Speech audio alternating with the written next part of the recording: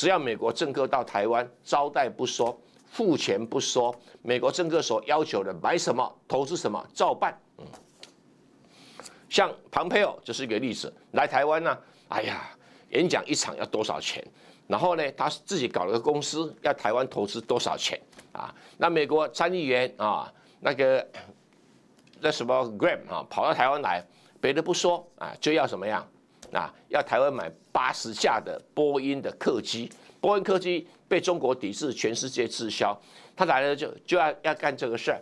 然后他可能台湾只买了二十几架，他不满意，所以前段时间在美国通过法案里面呢，他本来说要。送五亿的武器给台湾，他就把它挡住，说台湾自己出钱啊。最近好像又解禁了，因为好像台湾又答应要给他什么好处。这一位参议员啊，从政之前是穷小子，但是现在他变成参议院最有钱的人。前一段时间出来的数据啊，他的财产高达一亿美金啊，你就看到在美国啊，从政是一个很赚钱的行业。那只要你贿赂他，他就会回报你，好像做生意一样。这是民主政治衰败的一个很重要的一个原因。那现在台湾呢，啊，又要跟美国买这个通用啊电子公司所生产的叫做海上卫士 MQ 九 B 啊，MQ 九 B 的有人叫做收割无人机啦，哈，有人叫做这个死神无人机啦，哈。那它有陆上啊，这个卫士，有海上卫士，其实这不是重点。它由 MQ One 发展出来，叫 MQ 九。那 MQ 九分成 A 型跟 B 型，我们不用去管这种技术上的细节哈。就是说，这个 MQ 九 B 它基本上是可以挂飞弹的啊，尤其是有名的地狱火的飞弹。地狱火飞弹没有特别大。前段时间呢，这个 MQ 九哈的无人机呢挂了地狱火飞弹，还是还怎么样？这个暗杀了这个一个啊伊朗的一个一个军一个将领哈，所以这个 MQ 九看起来好像是目前最强的，可是 MQ 九前段时间呢，在黑海的时候啊，照常被俄罗斯人呢给给怎么样给打下来，而打下来更好笑的是，在上面拦淋油，他就自己掉下去了啊，就是俄罗斯的战斗机飞到这个死神无畏上面，把这个油料给倒下去，结果这个。MQ 九就自己掉到海里面去哈，那所以对于这样子的啊一个武器，他认为就是说可以做无人机的高空侦察，这种无人机基本上是察打一体，可以做高空侦察，然后速度当然不是特别快，可是好笑的是，这个无人机对解放军没有用嘛。因为解放军呢，面对台湾海峡是一个很窄的海峡，哦，那你要飞得太靠近的时候，解放军很容易发现呐。要发现这种 MQ 九的不是很难，只是说打下来成本会比较贵，因为飞弹呐会比这个无人机的成本更贵哈，导弹比它更贵。可是要把它打下来，不只是导弹呐，花样很多啊，哦，比如说战斗机或者其他飞机。靠近两下就把它打下来了，还不要用到太贵的导弹呢。那台湾呢，买这个东西啊，当然一方面呢，可以让蔡英文在呃岛内里面炫耀啊，炫耀什么呢？你看一看，我跟美国的关系多好，我都能够优先买得到啊这一款这个无人机啊多先进。第二个，它可以跟民进党的徒众做宣传。你看，美国都会卖给我们这种呃无人机的，那表示。如果台海发生战争，美军就可能介入到台海，而且这一款无人机呢，又可以跟日本的美军跟日本的自卫队啊进行连线，嚯，了起了很了不起，所以等于是日本也买了这种这种死神无人机，在侦查中国沿岸得到的资料可以传给台湾。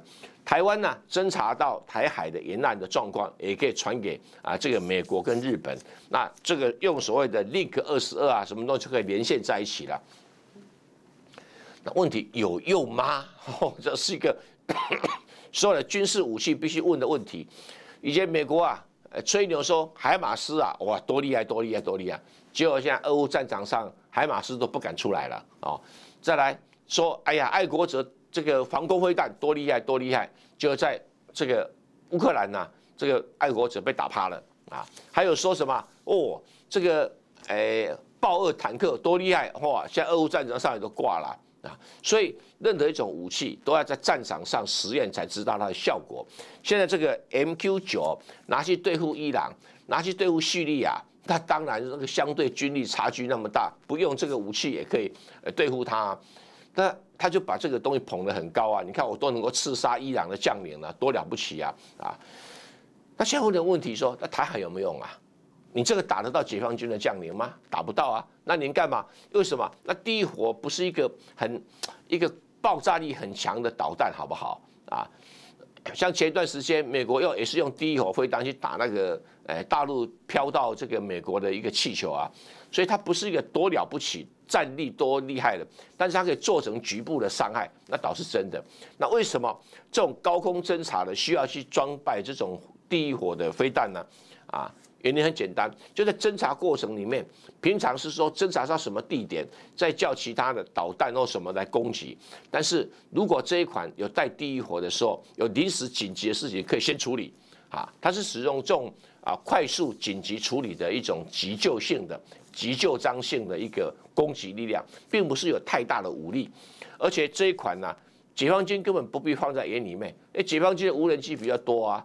到时候无人机群两下就把这一家打下来，用无人机打无人机是成本最低的。你这个第一火能干什么啦？所以，哎呀，我只能叹一口气哈。像现在哈，在俄乌战场上哈，每一天的无人机的数量非常的多，每一天消耗的无人机的数量也非常的多。所以无人机不止值要高，量要多啊。那台湾买了几架能干什么？哦，到时候被解放军的无人机围攻的话，它就挂了。而且无人机打无人机成本很低呀。啊！但是至少蔡英文政府这样的买美国武器，至少造成了一个很重要的现象。民调上就显示，民进党的支持者有百分之七十五相信，如果台海发生战争，美军会来帮台湾打仗。稍微脑筋清楚的人知道是谎言，可是民进党的支持者呢，就会相信成是一个真理，觉得美国人会遵守啊诚信。问题是美国会答应你吗？也没有。但是他们可以构筑自己一个台独幻想。民进党支持者在台湾有多少？哎，至少有四成人。那四成人里面有百分之七十五认为美国会帮台湾打仗的，是七十五 percent，那就表示台湾地区有三成人是这样相信的。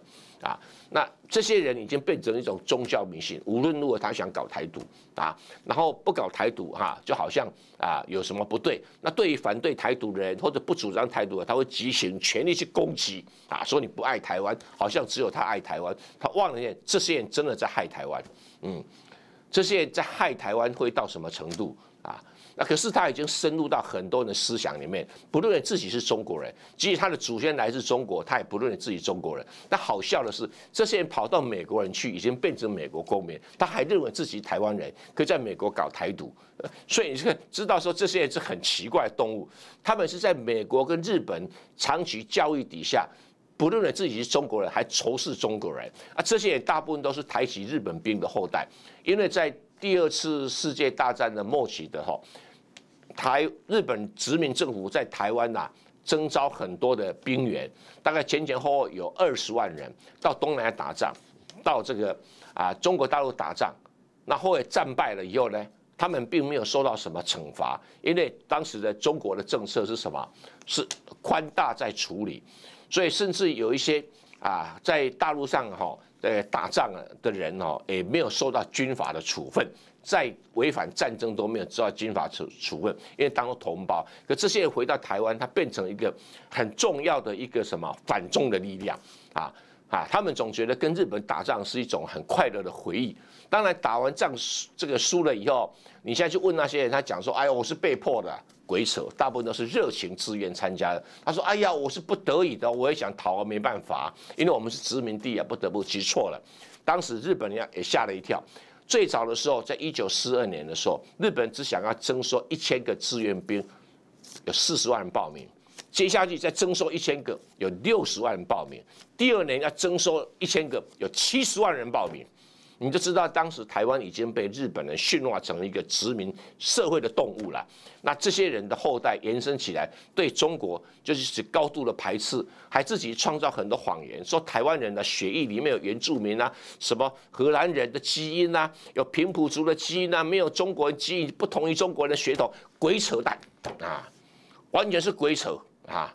绝对没有这种事情。荷兰人到台湾来多少？最多的时候才两千个人呐，而且其中四分之三都是日耳曼人啊，呃，不过是两三百人，怎么可能有这么大基因呢？平埔族在荷兰人离开的时候只有三万人呐，当时中国人在台湾就有三万人呐，那他们抓住一句话说：“哎呀，以前的史书上写有唐三纲，没有唐三骂，所以从中国大陆来只有男人呐，都娶平埔族了，这是鬼扯淡啊，谎言满篇，就是为了搞台湾独立。”所以中国大陆当然现在很温和，说要用和平统一啦、和平交流啦。但是我要不客气的讲，哈，对这三层的人哈，坦白讲，啊，要统一就不可能有和平，哈，要和平就不可能这统一，因为这些人怎么样，会坚决的配合日本跟美国呢，啊，跟中国对抗到底。所以所谓一个中国政策，就是美国用想尽办法保护这些人。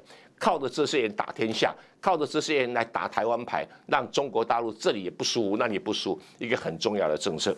那买一买这 MQ 九 A 或九 B，只是中间的一环政策而已，可以让这些人更容易以武抹独，哎，不是抹毒啦，以武怎么样？搞毒，现在已经毒已经确定了情形了。中国大陆不要睁眼睛看不到，这是台湾的现状就是如此。台湾已经逐渐的走向坚定的台独的路线，不管你美这个中国大陆同不同意，现状就是如此，不可能两岸融合。我坦白跟你讲，尤其对这三层的人，可能性是不存在的啊。所以两岸走到武装对峙、武装冲突、武装独立是几乎是很难逃掉的。尤其美国人在中美拱火啊，那再拱火下去。台湾不是乌克兰，台湾会比乌克兰更惨。我们在五十二台被撤照，我们在 YT 被限流、被黄标，我们在脸书被检举、被这样触及，我们全都遇到过。但我们不放弃，让真相被听见、被看见。我们现在有自己的中天新闻网 App，这里永远不断线，请你赶快下载中天新闻网 App。这个 App 好贴心，中天的新闻直播和节目全都在里面。一次满足。